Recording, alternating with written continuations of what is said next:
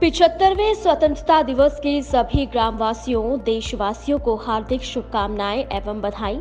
निवेदक ब्रिजेश कुमार, ग्राम विकास अधिकारी सुमित कुमार सिंह, ग्राम प्रधान। अंध्रऊ विकास क्षेत्र, दातागंज, बदायूं।